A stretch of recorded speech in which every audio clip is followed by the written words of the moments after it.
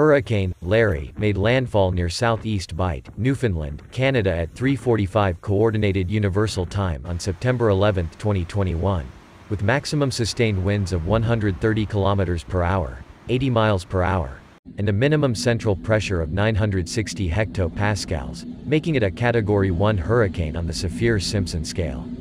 It transitioned into a post-tropical cyclone by 1500 coordinated universal time, moving NNE toward Greenland at 78 km per hour, 48 miles per hour, and merged with mid-latitude low, generating a massive blizzard over the southeastern Greenland.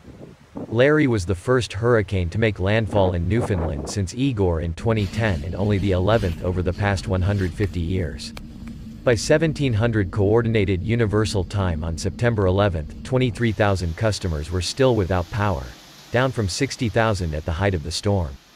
It knocked out power throughout St. John's and the surrounding area and brought heavy rains, strong winds, and unexpectedly high storm surge.